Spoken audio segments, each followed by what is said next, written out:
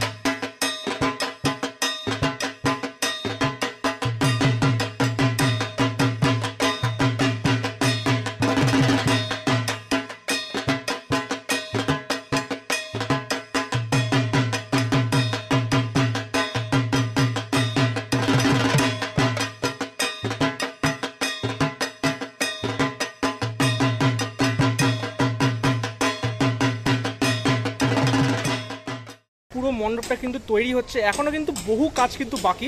সবে মাত্র মণ্ডপের যে মূল যে স্ট্রাকচার সেটা কিন্তু তৈরি হয়েছে। আর এই যে দেখতে পাচ্ছ এই এটা কিন্তু এন্ট্রি পয়েন্ট ঠিক আছে? অ্যাকচুয়ালি কিন্তু এইখান থেকে কিন্তু এন্ট্রিটা হবে। এখান থেকে এন্ট্রি হবে। আর এই জায়গায় কিন্তু একটা গেট মতো যেমন রাজবাড়ির যেমন গেট হয়, সেরকম কিন্তু গেট কিন্তু করা হবে। এখন তোমরা হয়তো বুঝতে পারছ না, কিন্তু কাজ কিন্তু এগোলে হয়তো সেটা বোঝা যাবে। আর এটা কিন্তু কৃষ্ণনগর রাজবাড়ির যে গেট আছে, সেই গেটের আদলে কিন্তু হচ্ছে। এখানে কিন্তু প্রচুর আর্টিস্টিক কাজ কিন্তু এখনও বাকি আছে এবং অবশ্যই রঙের কাজ তো আছেই। আর তোমাদেরকে একটু আগে ক্লিপিংসে দেখালাম এই জায়গাটা। এই জায়গাটা কিন্তু আলাদা একটা ঘরের মতো করা হয়েছে। এটা কিন্তু অ্যাকচুয়ালি আমি এখানকার মেম্বারদের সাথে কথা বলে জানলাম। এটা কিন্তু একটা ছোট্ট মন্দির করা হয়েছে এবং এখানে কিন্তু মা দুর্গা থাকবে, যেটা কিন্তু মাটির নয়, অন্য একটা মেটেরিয়ালের কিন্তু মা দুর্গা কিন্তু এখানে হবে এবং অবশ্যই এটা কিন্তু মন্দিরের একটা ছোট্ট একটা মতো স্ট্রাকচার করা হয়েছে। তো মোটামুটি আমি এখানে এসে যেটা দেখতে পেলাম এবং যেই থটটা তাদের জানতে পারলাম, সেটা কিন্তু আমার খুব ভালো লেগেছে। আর অবশ্যই কৃষ্ণনগরের রেবা পাল, তাকে কিন্তু ট্রিবিউট দিয়ে কিন্তু এই পুরো থিমটা কিন্তু করা হচ্ছে এবং অবশ্যই তার কাজকে কিন্তু ভালোবেসেই বলা যেতে পারে, তারা কিন্তু এই থিমটা করছে। আর এই হচ্ছে বাইরের মেন স্ট্রাকচারটা এখনও অনেক কাজ বাকি আছে। এখান থেকে তোমাদের দেখালামই দুটো দেয়াল আছে। ওই দুটো দেয়াল অর্থাৎ দুটো ওয়ালে কিন্তু বিভিন্ন রকমের আর্ট অর্থাৎ কিছু শিল্প শিল্প সত্তা কিন্তু ফুটে উঠবে অবশ্যই। আর এখানে কিন্তু আমি জানতে পারলাম এখনও কোনোটাই ঠিক হয়নি।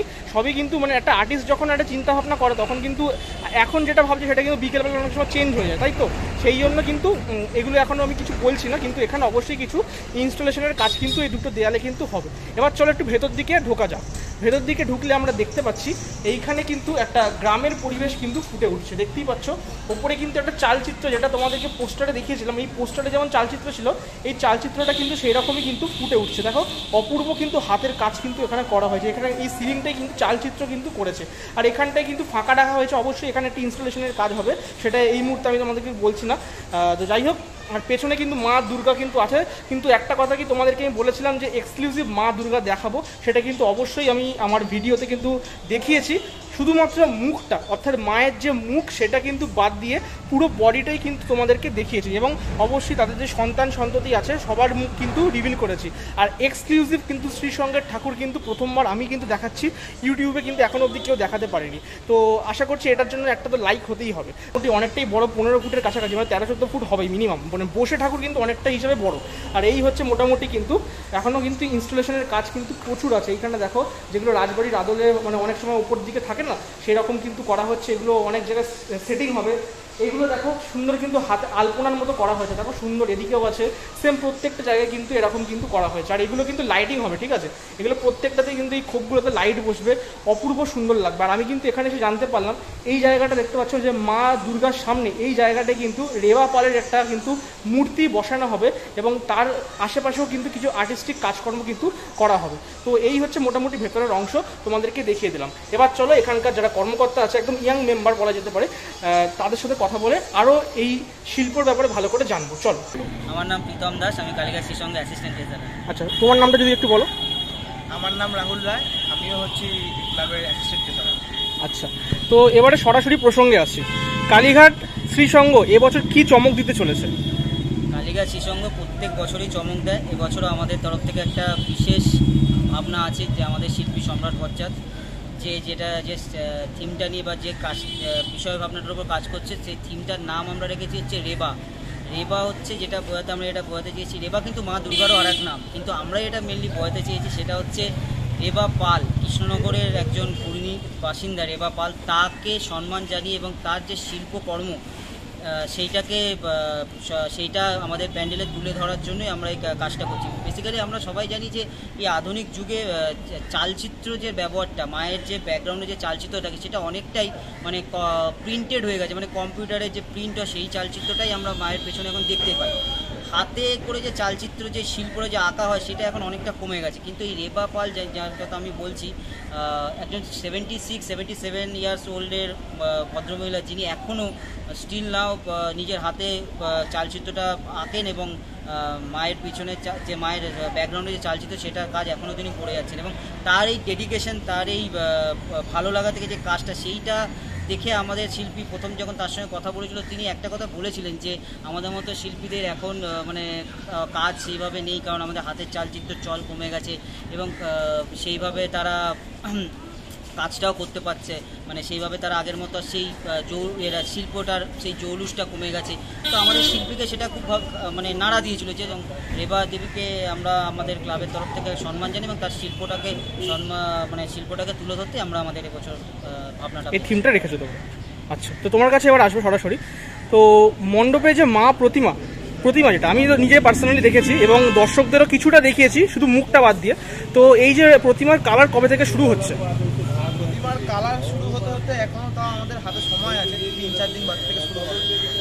আচ্ছা আচ্ছা। এবং আমাদের প্রতিমাতে একটা চমক রয়েছে যার জন্য আমরা যে মুখটা দেখাতে পারলাম না তার জন্য খুবই দুঃখ তার জন্যই আমাদের এখন প্রতিমাটা একটু আমরা সাসপেন্সে রাখলাম। সবাইকে আমি অনুরোধ করব যে খোলার পরে আসতে আমাদের মণ্ডপে এসে আমাদের প্রতিমাটা দর্শন তো প্রতিমাটা আমি দেখতে পেলাম এখানে কিন্তু বসে আছে যে ফর্মটা হয়েছে আর্ট ফর্মটা তো কত ফুট হাইট এটা? প্রতিমাটা বসে হচ্ছে, এখন যেটা তুমি দেখেছ, সেটা হচ্ছে আছে বারো থেকে সাড়ে বারো ফুট। কিন্তু আলটিমেটলি প্রতিমাটা যখন মানে পুরোপুরি কমপ্লিট হবে, সেটা দাঁড়াবে হচ্ছে চোদ্দ ফুটের মতো দিয়ে আমাদের শিল্পী যেটুকু বলেছে, সেটাই আমি তোমার আচ্ছা। এবারে আসি, মণ্ডপে তোমার পেছনে একটা জিনিস দেখতে পাচ্ছি, এটা ছোটো ঘর টাইপের করা। এটা যদি একটু মেনশন করো কি হচ্ছে? এটা হচ্ছে বেসিক্যালি আমরা যেটা করছি যে যাকে নিয়ে আমরা মানে যাকে সম্মান জানিয়ে কাজটা করছি যে শ্রীমতী রেবা পাল তিনি কৃষ্ণনগরের বাসিন্দা। তো এবার কৃষ্ণনগর মানে একটা মানে আমরা জানি একটা গ্রামের একটা যা পাইপ থাকে টাইপের থাকে। তো আমরা ওইটা গ্রাম বাংলার বাড়িতে আপনি কুলঙ্গি টাইপ কুলঙ্গি দেখতে পাই যেটা কুলঙ্গি বলে। ওর ভিতরে ওই ওইগুলোকে বোঝানোর জন্য ওর মধ্যে অনেক আর্ট ফর্ম অনেক কাজ আছে লাইটের কাজ আছে অনেক রকম কাজ এখনও কমপ্লিট হয়নি। তুমি যেটুকু দেখেছ ওইটা হয়েছে কিছুটা হয়েছে এখনও কিছুটা 50% হয়েছে। ফিফটি পার্সেন্ট হয়েছে ফিফটি পার্সেন্ট বাকি আছে। ওই ওইটাই আমরা এখানে দেখাবো। আচ্ছা তুমি আমাকে বলছিলে এখানে মা দুর্গাও থাকবে একটু যদি দর্শকদের বলো। হ্যাঁ এই জায়গাটাতে এই জায়গাটাতে আমাদের একটা আহ, ঠাকুর থাকবে যেটা সম্ভবত মাটির হবে না। আচ্ছা, এই জায়গা- এই হ্যাঁ, জায়গাটাতে। ওটা একটা চমক থাকবে হ্যাঁ। কি হবে সেটা আমি তখনই বলব। আচ্ছা। আমি মাটির হবে না এটুকু বলে দিলাম। এখানটা একটা দেবী দুর্গার একটা মূর্তি থাকবে এবং ওইটা একটা অন্য কিছু বোঝানোর জন্য থাকবে সেটা এখন বলছি না। আচ্ছা। কমপ্লিট হলেই বলব। আচ্ছা। আহ, একটু থাক সাসপেন্স থাক। ওটা বলে দিলে মানুষের একদমই। এবার আমি তোমার কাছে আসব। একদম শেষের দিকে চলে এসেছি প্রায়। তো মণ্ডপটা দর্শকদের উদ্দেশ্যে কবে ইয়ে মানে খুলে দিচ্ছ তোমরা? আমরা চেষ্টা করব মহালয়ার আগে খুলে দেওয়ার। তো আমাদের টার্গেট আছে চব্বিশ তারিখ এবার দেখা যাক কতটা আমরা কতটা করতে পারছি চব্বিশ না হলেও পঁচিশ আমরা তো করেই দেবো। মানে মহালয়া বা এক দিনের মধ্যেই আশেপাশেই হয়ে যাচ্ছে হ্যাঁ আচ্ছা। আমি একটা কথা বলতে হ্যাঁ, চাই আমরা চব্বিশ তারিখটা আমাদের টার্গেট ম্যাক্সিমাম পঁচিশ তারিখ তার কারণ হচ্ছে আমরা চাইছি তার মধ্যে কমপ্লিট করতে কিন্তু আমাদের যেহেতু মাননীয় মুখ্যমন্ত্রী শ্রীমতী মমতা বন্দ্যোপাধ্যায় উদ্বোধন করে তাই জন্য আমি এক্সাক্ট উদ্বোধন ডেটটা আমি বলতে পারব না। ওইটা আমাদের একটু আগে বলে হতে হ্যাঁ। দ্বিতীয় তৃতীয়াতে সম্ভবত ওরকমই হবে কিন্তু আমাদের কমপ্লিট করা চব্বিশ থেকে পঁচিশ তারিখের মধ্যে টার্গেট আছে। এবার বাকিটা আবহাওয়ার উপর আবহাওয়ার উপর নির্ভর করছে শেষ একদম দর্শকদের উদ্দেশ্যে তোমাদের এই ক্লাবকে নিয়ে যদি কিছু বার্তা থাকে।